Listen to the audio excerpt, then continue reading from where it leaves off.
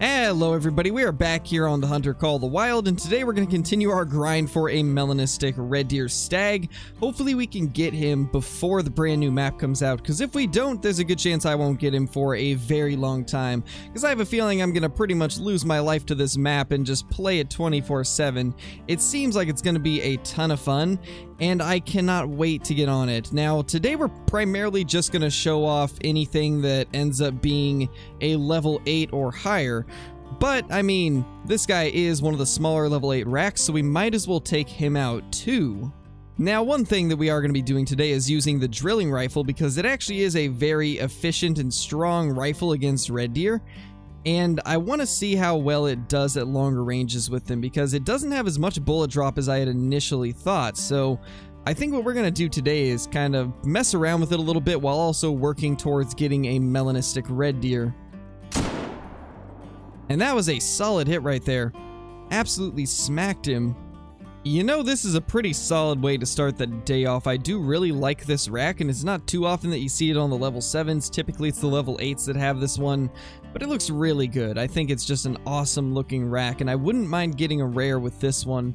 I think that would be pretty sweet, but we're going to go ahead and move on. We got a lot of grinding to do today, so let's not waste too much time.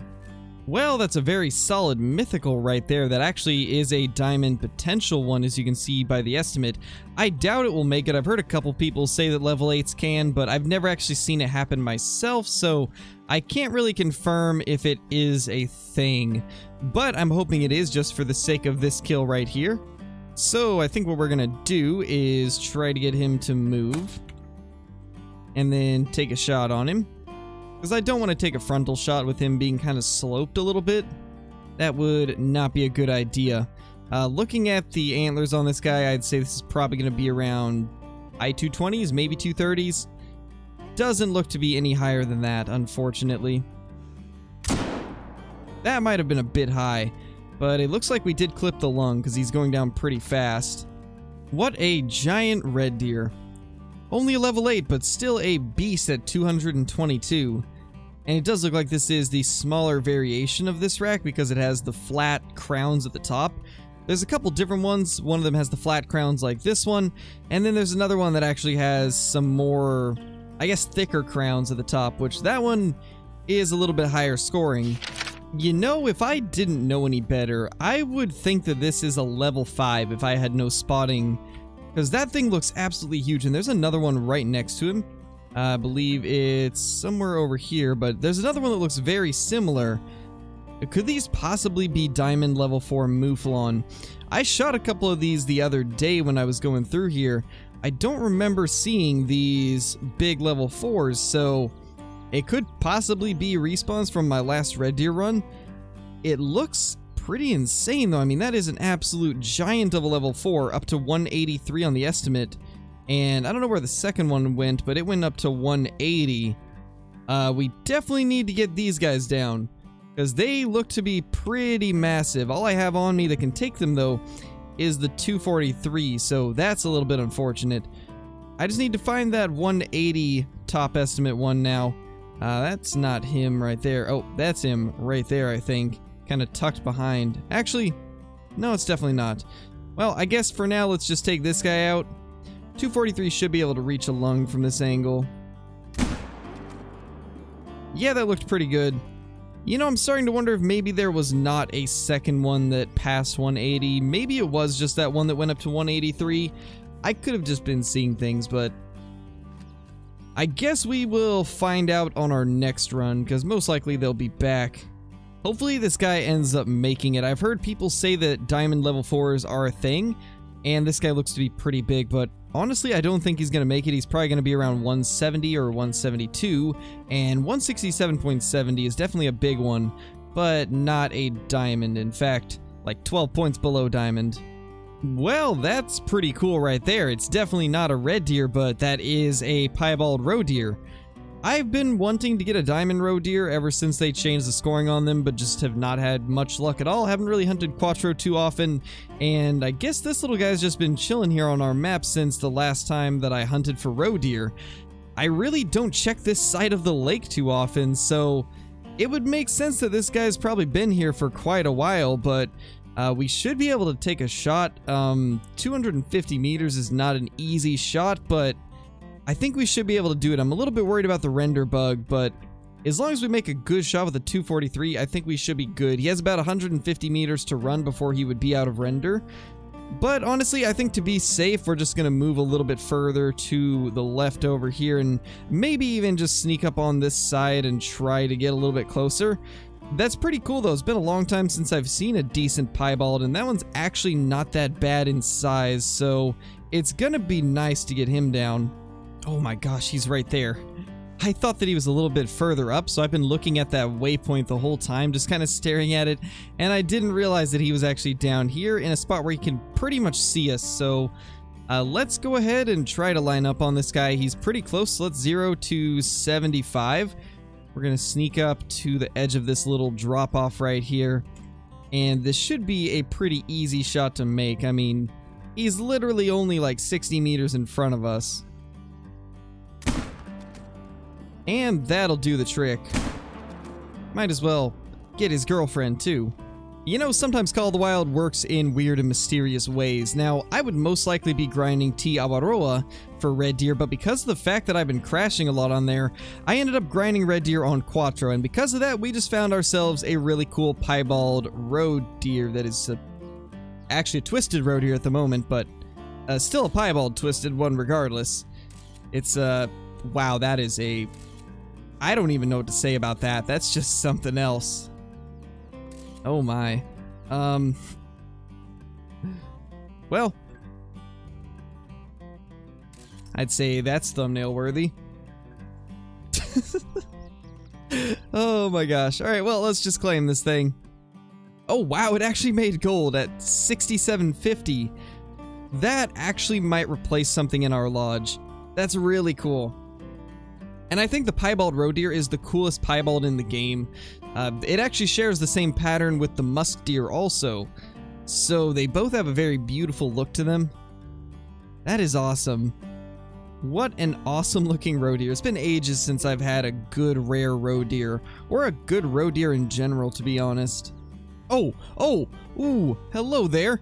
That is a level 9 legendary red deer literally right after I found that piebald, the next lake has a level 9. What is our luck today? I got a troll level 9 out of the same spot on stream a couple days ago.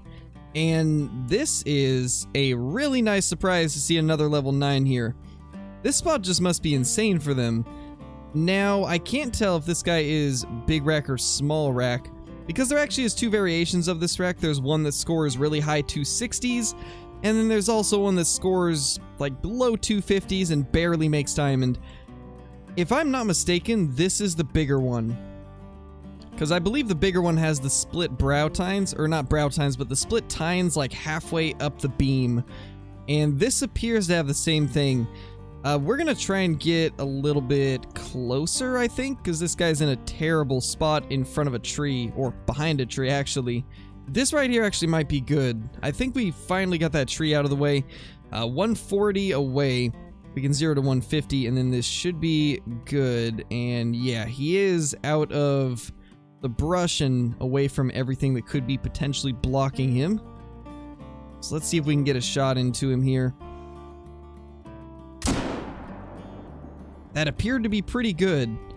That is so cool. We have had six trolls in a row for red deer, so this is going to be really nice to get. I've been having just troll after troll after troll, and it's been a little bit discouraging, but this right here should make diamond. That is definitely vital blood right there. This guy went down almost immediately, and this is only the second run that we've done today. We have been finding not a ton of big males, uh, a lot of small ones that I haven't been showing on camera, but we've only killed like one or two mythicals in level 7, so I did not expect to find a level 9 this quick, but I mean, I can't really complain. It's been ages since we got one that actually has a chance of making diamond. So, so many trolls in the last couple months. Let's hope this guy won't troll us. And he has a diamond at 267. That's actually a really big one too. I think this is my second biggest of all time. What a monster red deer. That guy's absolutely huge. Just a massive red deer. That is super awesome. So basically what I was talking about, these tines right here, they only split off on this, uh, or actually, not these ones. I think it's this one right here. It's kind of hard to see, but it's the one right at the base of the large cluster up at the top. It splits off on the big, big rack, and then on the smaller one that scores low 250s, it doesn't split off, and there's a little bit less mass on the main beams. So that's the biggest way to tell them apart. Uh, it's still not easy to do when you're just glancing at them, but that is a beautiful red deer right there.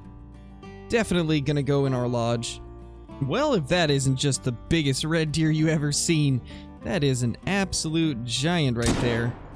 Definitely gonna take that guy out. That is insane.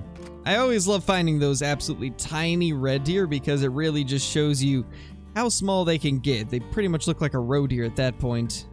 And there you have it. We go from probably one of the biggest red deer that we've seen in a very long time to one of the smallest.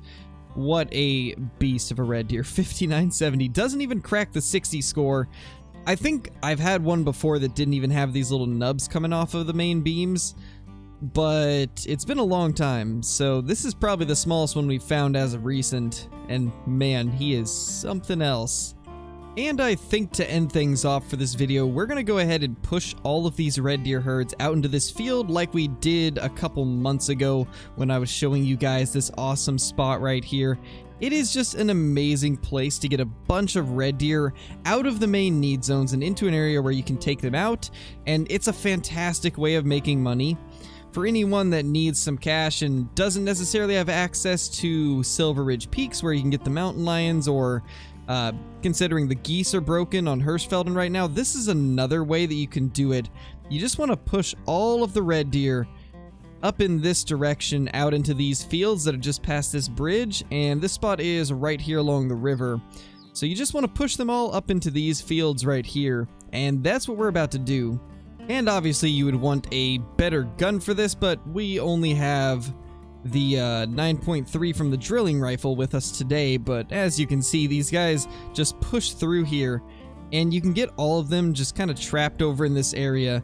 Now, we're not going to be shooting any of these today because we don't really need to take out any of these for money at the moment, but before we end, I just figured I'd show you guys this little trick once again. It's a fantastic way to get a bunch of red deer out of their main drink zones so you don't end up deleting the drink zones, while also still be able to wipe out a bunch of them for cash, so I highly recommend doing this if you guys are uh, tight on money or just want to have a little bit of fun because you can just have a ton of fun blasting red deer. I actually want to spot those rabbits real quickly because I am looking for another...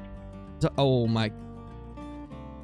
Alright, well, as I was saying, I'm looking for another diamond European hare, and uh, that right there is one of them.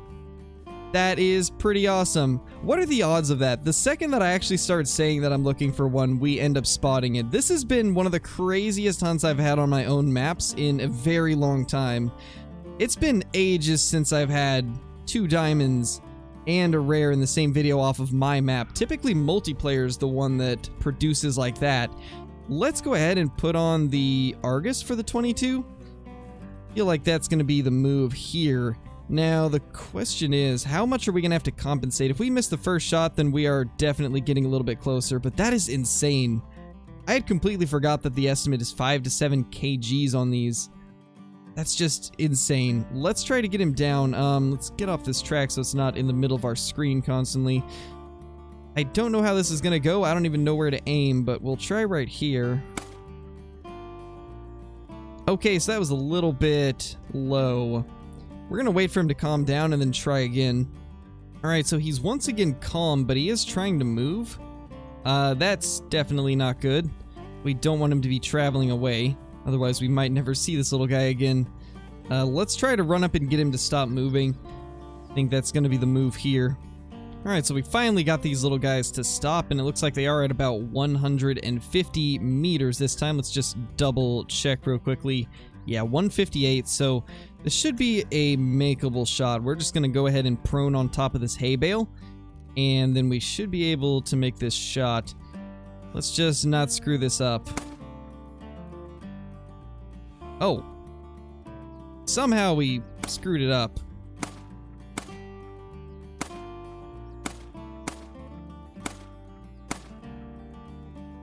I'm not exactly sure what just happened there. It said 158, we aimed slightly high, and it still missed somehow. There's our level 3 right there, 140 meters away. Let's see if we can make this shot this time. There we go. We finally got him down. That took a lot longer than I was intending it to, and this video is probably going to be a bit longer than what I wanted it because of that. Although I don't know how much footage I'm actually going to have after I get done but it might be a little bit longer, which is a bit unfortunate. I know a lot of you guys prefer the videos to be around the 15 to 18 minute mark, but a lot of these end up being over 20 minutes because I just keep on finding stuff that I want to continue to put in the video, and then it just ends up being a really, really long video. But this should be the last thing that we do. Let's just try to figure out where this little guy went. There it is. There is our level 3 uh, European hare. This is something I don't see too often, so I'm excited about this. Let's hope it ends up scoring pretty good. My last European hare was a max score 1000 that I got shortly after Cuatro Colinas released, and I didn't get that one on video because I wasn't doing YouTube at the time, but this one is 6.50 and it actually just barely made diamond, so this is probably a pretty small one I would imagine. I couldn't imagine this being a big one. I'm guessing they probably max around 7, although I don't really know too much about them. We will have to figure that out later, but that's pretty cool. A nice way to end it off. A European hare diamond that I did not expect to see, especially considering I was just intending on showing you guys how to push the red deer up there, and then we ended up spotting this guy out in the field. So that's a pretty cool way to end things. Okay, so there's something a little bit strange about this European hare. It says 6.5 trophy rating right here, but then when I pick it up and then put it down, it says 6.60 right here. So it must have been just barely below. It's probably like 6.5999 or something like that. So it ends up saying 6.60 when you go into the actual trophy manager, but that's pretty cool. We got ourselves a European hare. And I thought I had only had one of them previously, but it looks like this is also a European hare. So this would be my third diamond, but as you guys can see, I got this one back in December of 2019, so it's been a long time since I've seen a diamond one. So this is pretty awesome. And it actually looks like our old piebald roe, roe deer is smaller, so let's put our new one right here. This has actually been a really successful hunt. We managed to get three new Trophy Lodge additions, which is something that doesn't happen a lot nowadays. Usually we get max of one, and on most occasions we don't get anything that can go in the main lodge. So I think what we're going to end up doing is removing this red deer right here and putting our brand new one there. Uh, let's just make sure he doesn't flip through anything, and that definitely does, so Let's just go ahead and put him like that. I think that looks really good. This is probably my favorite room in the entire lodge. My red deer and Sika deer room. It just looks so cool with all these gigantic red deer racks. Uh, I am going to change the pose of this guy a little bit. I think, yeah, that looks good right there. I like that. And then, you know what? Let's do the same thing on that one. I think that's cool. The top ones on all three sides are just the antlers. I definitely like the way that looks. But anyway, guys, that's going to be it for this video. If you are brand new to the channel, be sure to click that subscribe button, click the like button, and ring that notification bell so that you guys will never miss a video. Also, be sure to comment down below with your favorite part of this video, what you would like me to hunt next, what guns you would like me to use, and what you're expecting to see out of this brand new reserve when it finally releases. But with all that being said, guys, thank you so much for watching, and I will see you all in the next video. Peace!